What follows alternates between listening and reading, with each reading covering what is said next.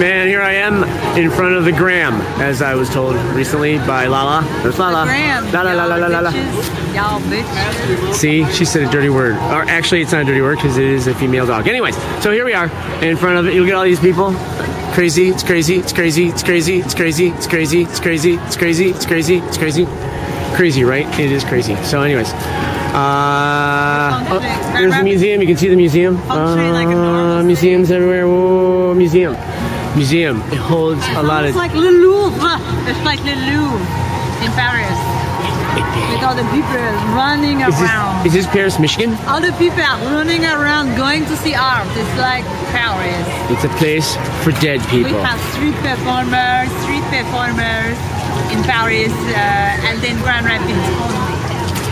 Only here at ArtPrize. And puppy dogs.